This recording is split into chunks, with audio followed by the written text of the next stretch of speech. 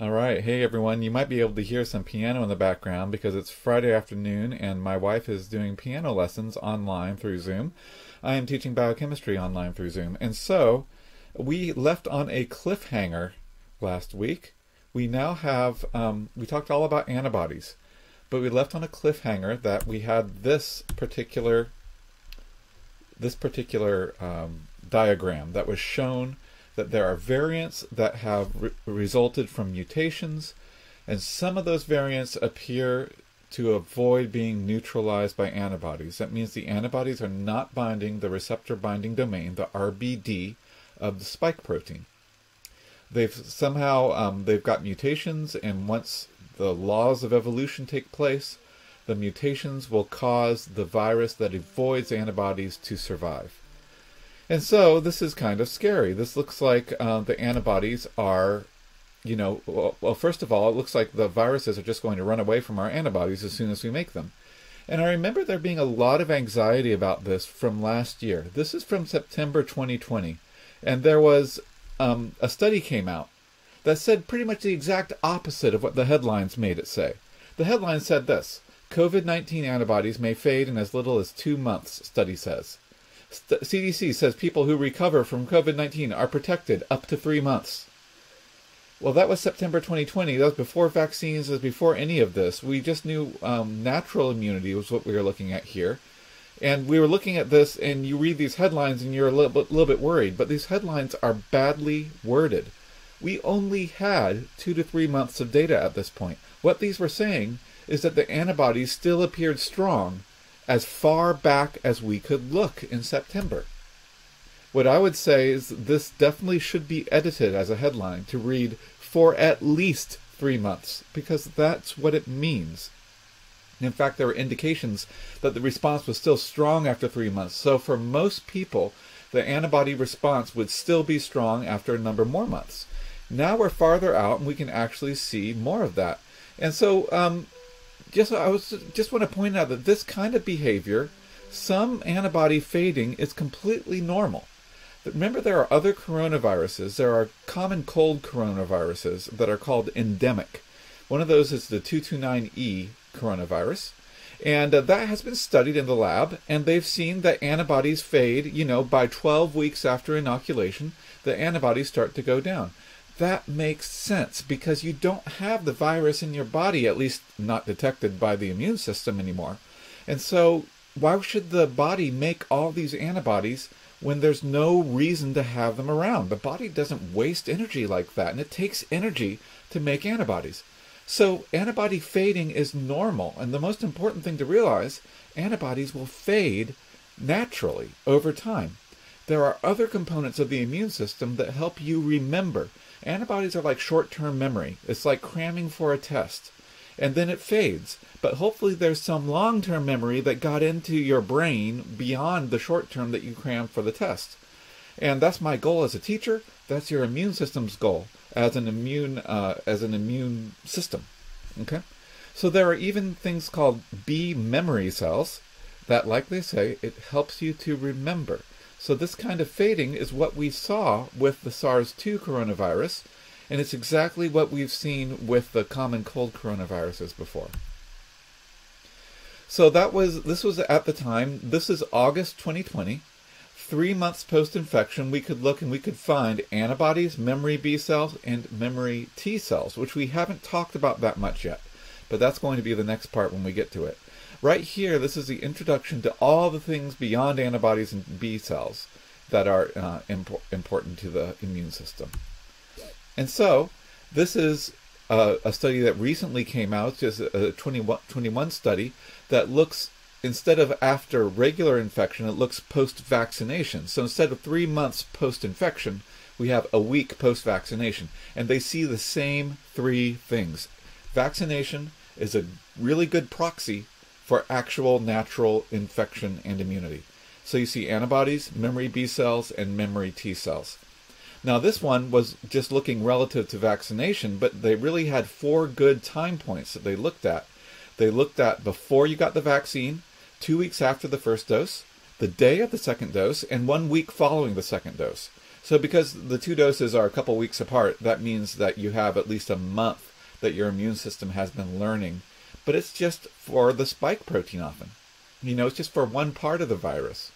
But all of our evidence says that this one part of the virus is the important part to go after, and it will prevent the virus from even infecting you and even being able to be transmitted. We have evidence for all these things right now. These vaccines are great. And so I've been a little bit frustrated by the tendency of we don't know because we can't know if we're at three months out from the infection. We can't know whether there will be infection four months out. This is a logical impossibility. But we can see that there's still strong immunity three months out. You know, so it's those kind of headlines that sort of drive me crazy, honestly. So, um, and one of the other important things is most of the mRNA vaccines have two dose regimens that they're given to the person with. If you think about it, if you've already had natural immunity to the virus, you probably only need one dose. And in fact, this has been brought out and this has been proven in the lab by more than a dozen studies, including this particular study right here. Unfortunately, that is not cut off with our policy. Our policy seems to be to um, give two doses to everyone, when there are some studies that say it doesn't really make a difference if you've already had COVID. It sort of counts as your first dose. So I just want to encourage people who are making policy to look at the science and be able to incorporate things like this into your policies. One of the great things about papers like this is that the first author, Rishi Goel, has talked about it in a tweet storm, sort of on Twitter. And it had this about it. Uh, he talked about side effects. What about side effects? And uh, so they even measured how do side effects correlate with the antibodies you get? Because sometimes you give someone the vaccine and they don't make as many antibodies as other people. And so this was a worrisome thing. What about these people that don't seem to have as many antibodies in their serum when you test them a couple of weeks later? Are they somehow unprotected? The answer is no, and the other part of the answer is if you have side effects, then the side effects are one of the signs that they correlate pretty well with high levels of antibody in your serum. So if you get your first or second dose and you're laid up by it, you can take uh, comfort in the fact that, like this scientist says, no pain, no gain. The systemic symptoms, fever and chills, go with having a higher antibody level. But on the other hand, that higher antibody level is not crucial to protecting yourself against future infections. What is crucial is, like he says right here, the generation of memory cells. And even without side effects, those who don't have side effects still generate great memory cells. So the side effects graph is the one on the left, the memory cells is the one on the right, and the one thing you'll see about the memory cells, the two levels are about the same for the memory cells. That means that even if you didn't generate a lot of antibodies in response to a dose of the vaccine, well, that might give you just a little bit of extra protection at the time of. But the really important thing is you're still making a strong memory response. So, chills and fever, you're making antibodies, but it doesn't really matter as much as the memory cells. So it's really cool to be able to uh, go around Twitter. Um, I have a love hate relationship with Twitter, but this is one of the things I love about it getting the scientists to tell me in real language what these data mean. And so the reason why I'm talking about this is very uh, much relevant today. Yesterday at noon, I went down to the YMCA and they had a pop up vaccination clinic, and I was able to get my second dose of Moderna. And everybody reacts to these a little differently, and I want to tell you what my story was actually everything was fine. I even, you know, like went to sleep at a normal hour. I got stuff done. I was like, I'm going to get my um, structural immunology lecture really done. Uh, you know, I'm going to get up tomorrow morning and do my structural immunology lecture, you know. Um, well, everything was fine until the Tylenol wore off at 4 a.m. At 4 a.m., all of a sudden, I was feeling feverish and chills. Not severe. You know, I could tell that I wasn't really sick, but I was also a weird combination of being tired in one way but being wide awake in another way. So that kept me up. I took some more Tylenol, but I was still awake by that point, and then I um, went back to sleep at 6 a.m. and I pretty much slept until noon. And then I got up and I noticed that I had like a headache, and I remembered something that I'd forgotten before. A couple weeks after my first dose, I had one day where I had this episode where this headache came out of the blue. And I was like, I didn't even think that it could be the vaccine, but it was, I think, because it felt just like this. So, what do I do? I had some Krispy Kreme donuts downstairs. I rewarded myself with Krispy Kreme strawberry cream filled donuts, which, by the way, are really good if you like strawberry milkshakes. Um, so I, I had one more donut at the bottom and uh, the bottom of the stairs, and thankfully my kids had not eaten it. And I went downstairs and I made sure that I ate a lot of sugar right away. And so I want you to think about why did I do that? You know, I'm generating cells, I'm burning energy, I'm building lots of structures. What helps you build structures better than sugars and fats? And sugars are the fast way to build uh, uh, to build structures. I actually I don't know for sure if it was the donut, but I think it's a pretty good doctor's prescription to say, "Hey, um, I have a headache, so I'm going to eat a strawberry donut." Okay, a lot of sugar seemed to help, and that was based on biochemical reasoning. Okay, so I already knew that uh, the side effects were a sign that this was working. And in fact, we can even narrow it down to what part of the immune cell is working. This is for uh, reacting strongly to a flu shot. Uh, but they traced reacting strongly to a flu shot to transitional B cells. Different than memory B cells, different than plasma cells, different than all these other ones. We have all these different kinds of immune cells that I didn't have time to mention yet. And I'm not even going to be able to go too far beyond what they actually are. But um, the transitional B cells are what's overreacting when people feel bad with the flu shot. And I wonder if there's going to be a study in a couple years where they look at people who feel like I felt like this morning, and they um, they can trace that to the transitional B cells as well. Maybe they're also the ones that make all those high levels of plasma antibodies that we have. We'll see. So I want to return to the history by Siddhartha Mukherjee about COVID-19 and viruses, virology. And at the end of that, he interviews one of my favorite scientists, uh, Akiko Iwasaki, and she uh, was is one of the um, best people to listen to if you want to know communication about cutting edge what's going on with COVID. She's doing a study right now, for example, about how long COVID interacts with the vaccine. There's some possible good outcomes there. But here she's studied what causes COVID 19 to be so bad and the people where it's so bad. And what she says is Iwasaki says there's a fork in the road to immunity. If you mount a robust innate immune response during the early phase of infection, you control the virus, have mild disease. But if you don't have that robust innate immune response, you have uncontrolled virus replication, and then the virus gets ahead of your immune system. You start to get misfiring and you start to get inflammation, which is as bad as it sounds. Inflammation is like a flame going off in your immune system in some ways.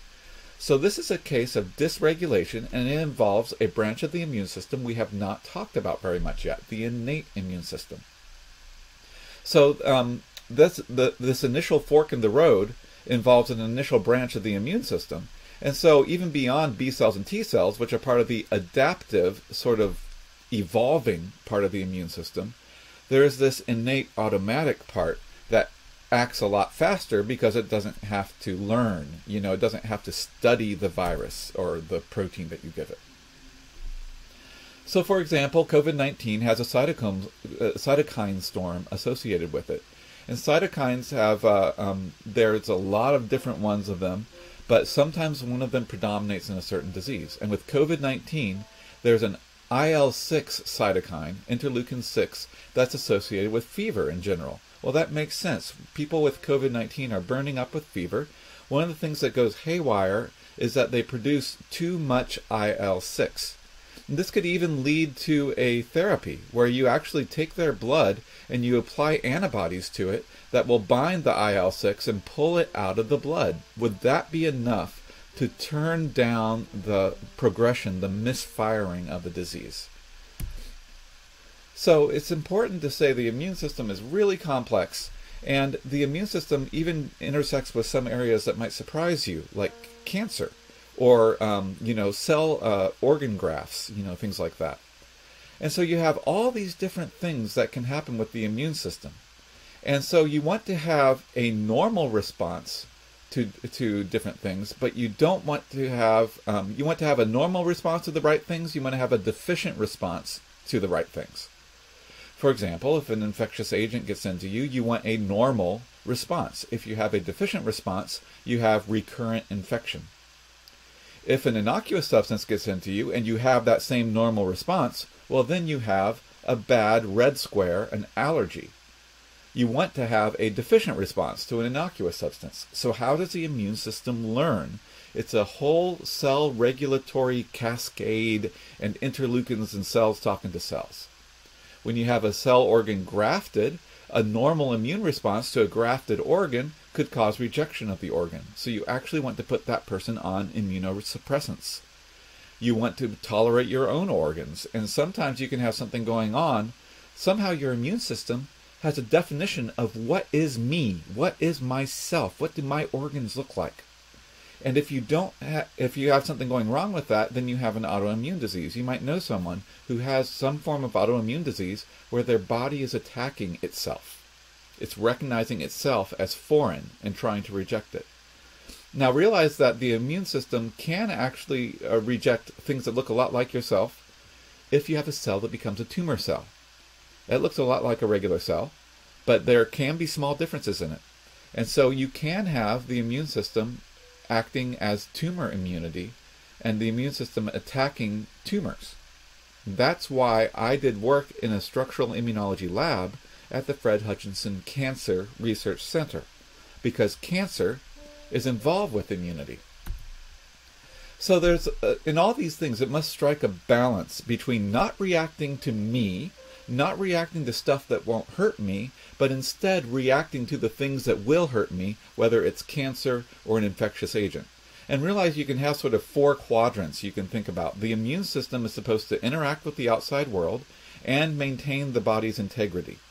If you have too much of it reacting against your body, you have an autoimmune disease and you have tissue damage. Uh, if you have too much interaction with the outside world, say that the you had the misfiring in SARS-CoV-2 infection, then you have an inflammation which also causes tissue damage and, for example, damage to the lungs.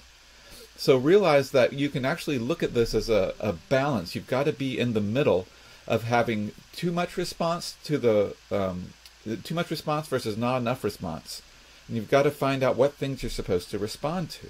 And we don't really know all the details of how the immune system makes these decisions. But in some disease cases, we have gotten it down to a molecular component. And so uh, just remember that the way the immune system talks to itself is by secreting proteins that float through the blood and they bind to other cells. And these proteins are uh, interleukins and interferons are the two main forms of these proteins. And so, for example, you can have different types of responses that involve different numbers of interleukins or interferons. Here's some example like a helminth is a worm. A helminth causes a type 2 response, which means that you have IL 33 being produced. And you can have the different things going on. If, if you're healthy, most of your responses are right in the middle, they're balanced. But if you have autoimmunity, let's say that you have a type 3 response that's going haywire, it's reacting to your body because it thinks that your body is a worm, is a helminth.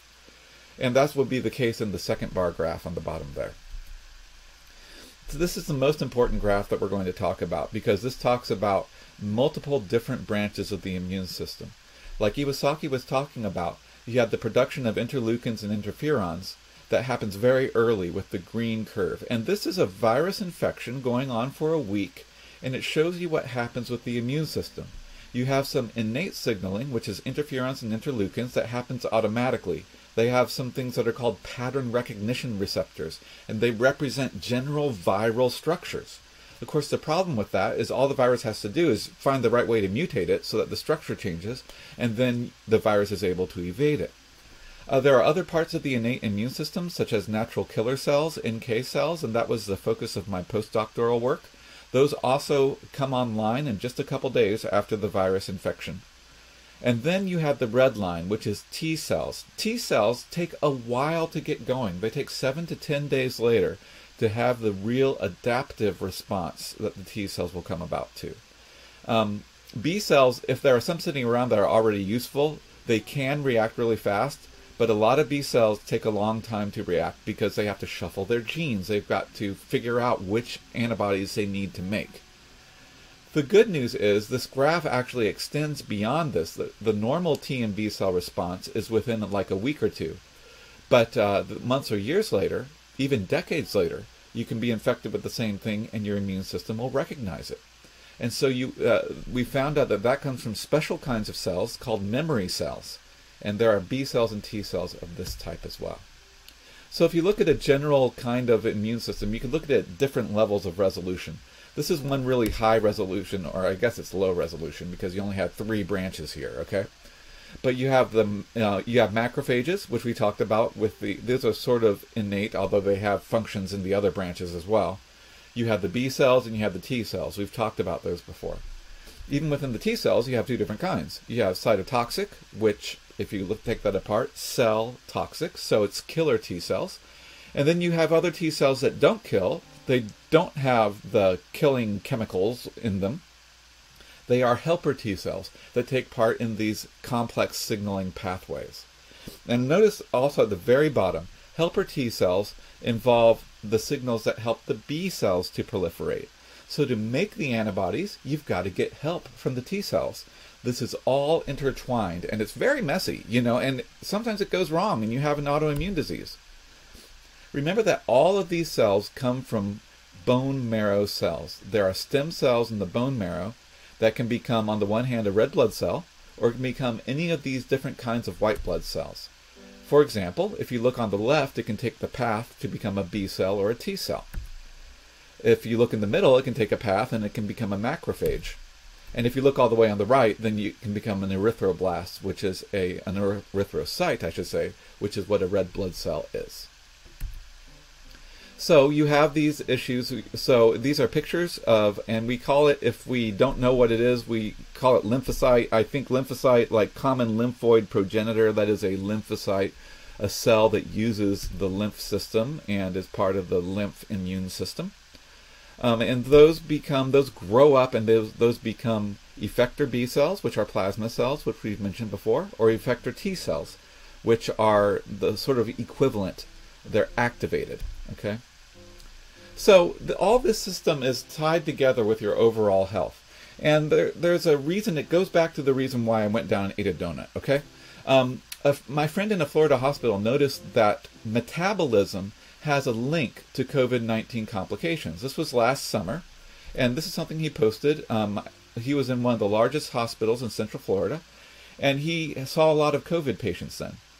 And so it was really nice to know someone who was actually there. So I didn't have to go from a secondary resource. I could hear from him how the hospital was being stressed at the time. And he said for some reason there's a link between insulin resistance and overactive immune response to COVID 19, which dramatically worsens the outcome for patients.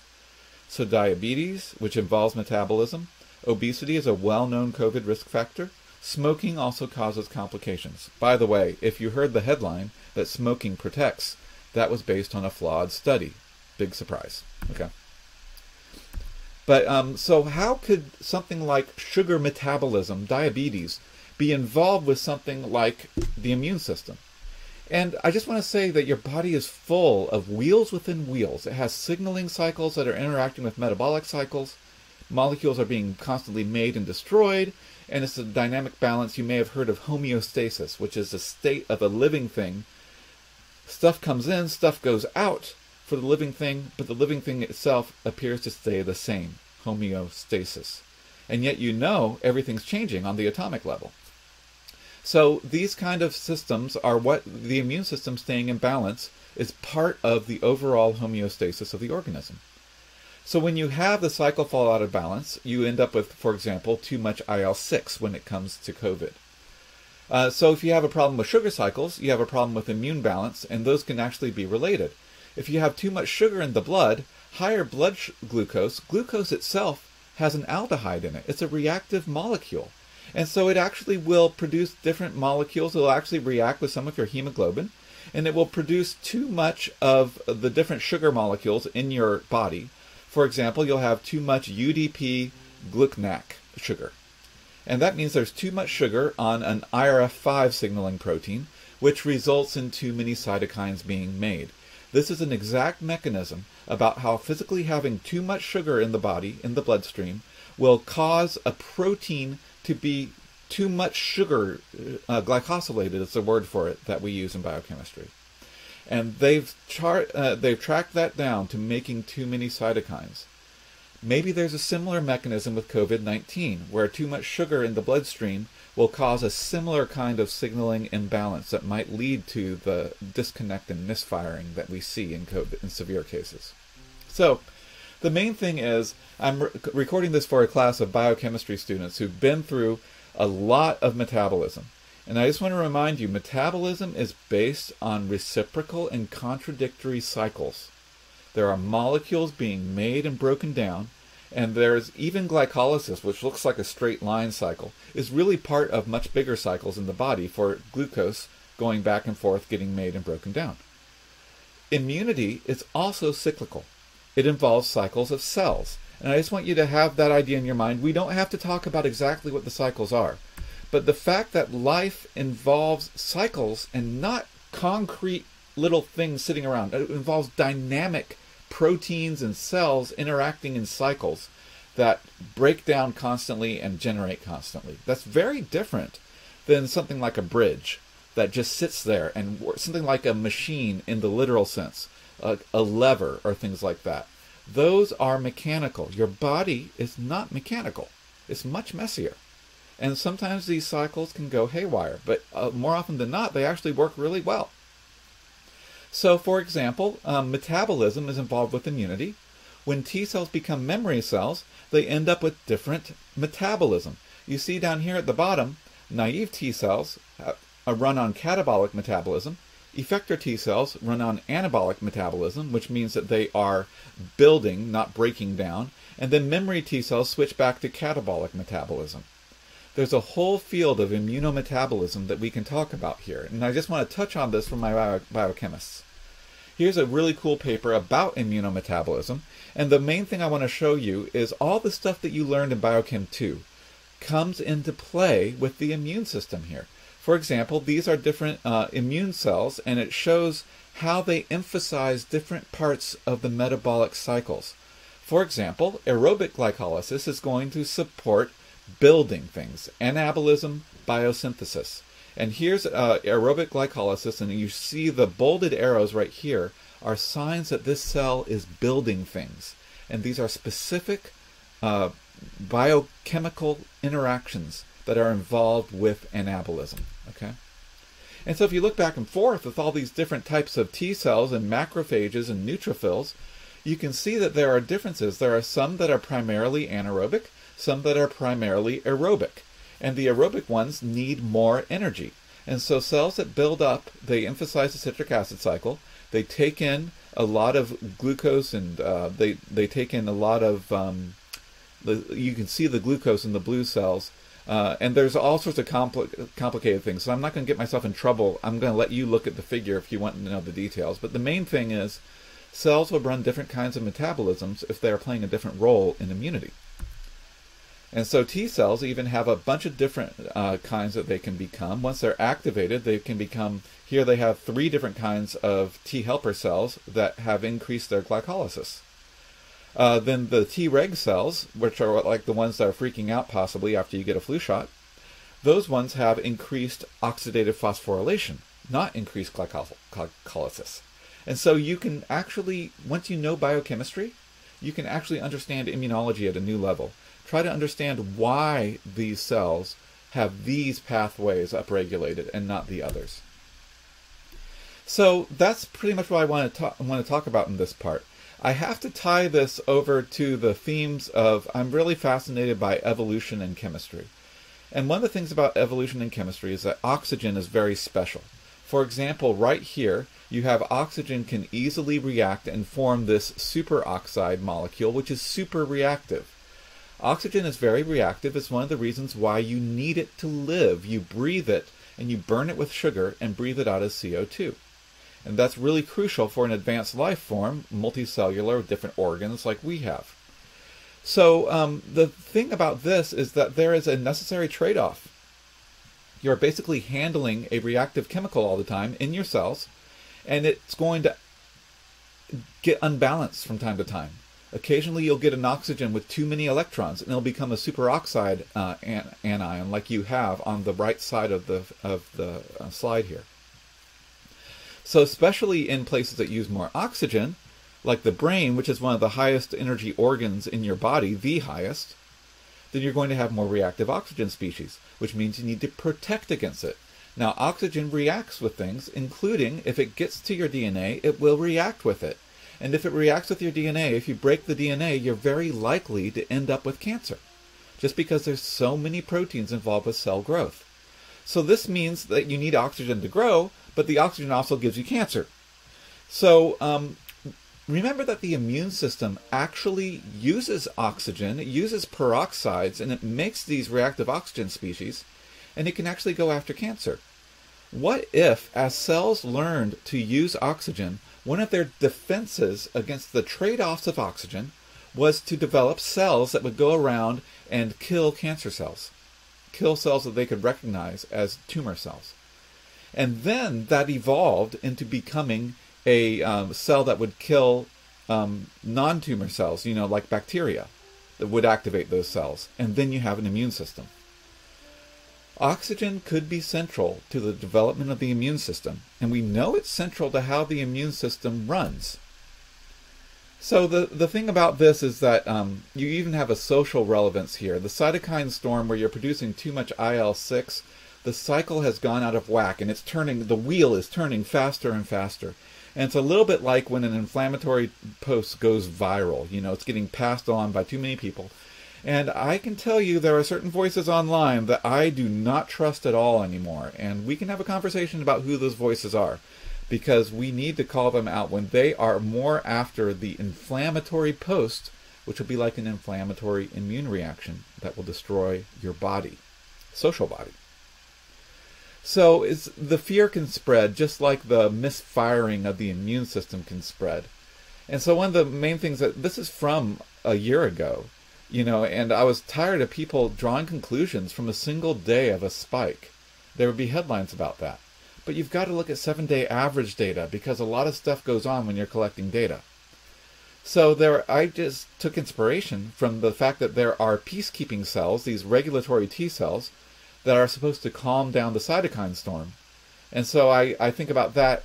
When you're online, it takes effort, it takes energy to be a peacekeeper, to be a peacemaker but it's part of theology. And I'm going to get into a little bit of theology here at the end of this particular part.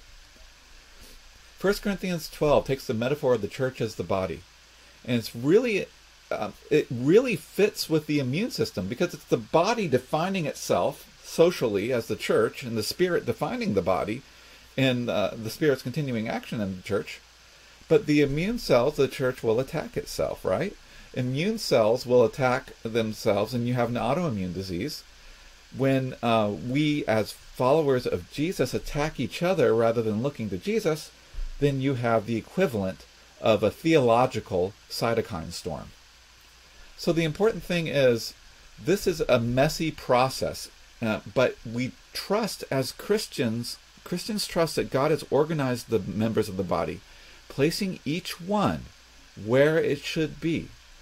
And that says something. I mean, what does this mean? Um, but there is some organization to this. God has put you someplace for a reason. And if you're supposed to be inflammatory in the right way, sometimes there's a call for that. There's a time to be a cytotoxic T cell. But there's also a time to calm things down. And it takes, it's not like you can follow a strict mechanical rule. Rather, you are responding through a cycle of information and constantly testing every thought, you know, breaking down and building up. So the idea of myself and my immune system as a messy ecosystem of contradictory impulses rather than some kind of mechanical robot seems to be closer to the picture of what life really is. Samuel Taylor Coleridge, for example, talked about polar logic this way. Um, one of the reasons for this is it looks like a system like this will have fewer blue screens of death. Like if there's always systems part of the system failing, then um, if part of the system fails, the whole system doesn't blow up. Uh, and also, this is one of the reasons why antibodies are designed through evolution through a messy, cyclical, uh, at parts of it random process, but it works and it protects us.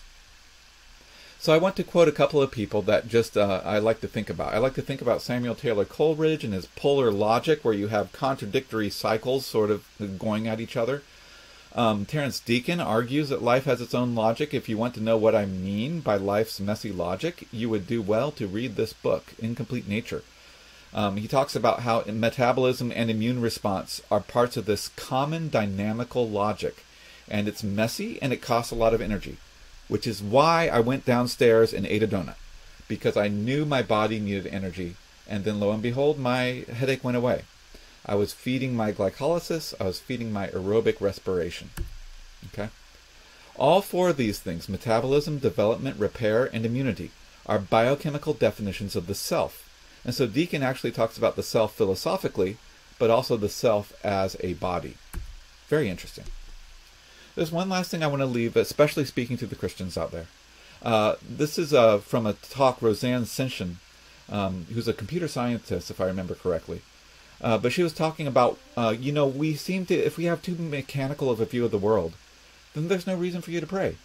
You know, God isn't mechanical, though. The world isn't closed and mechanical either. If we present the world as sterilized and we present that world as like these propositions you have to believe in to be a Christian, as opposed to being part of the messy real life of real people, then we're taking our church away from where miracles can occur. And so miracles can occur and prayer is worth it in a messy, open, dynamical, changing system that we don't understand the whole thing. But we trust that it is good, like God said in Genesis 1. So basically, if prayer has become generic rather than an actual expectation that God could step in, then something's uh, wrong with the whole system. Something's wrong with our theological system. Theological system needs to be open to God's presence and power. And so I want to say, I had this for myself to remind myself to pray because we were at a very scary part of the coronavirus epidemic at, a year ago. We didn't know what was going to happen, or, and I thought it would be another six months at least until we have a vaccine. On the other hand, today I am sitting here with the second dose of, of vaccine in my in my arm. I'm already 80% protected, and in a couple weeks I'm going to be 95% protected against coronavirus. That's really amazing. And so for this messy process, this whole year has been really messy, kind of a dumpster fire, right? Kind of inflammation. But I want to say the um, it's a misunderstanding of the philosophy of nature and the philosophy of theology, of how God's presence works, and expecting things to be in nice little categories rather than dynamical, messy cycles that we're trying to keep in balance. Okay, so um, that ends up part four. That last little bit was sort of part not of the class, um, but I went. Uh, we'll move on to talk more about T cells in just a little while.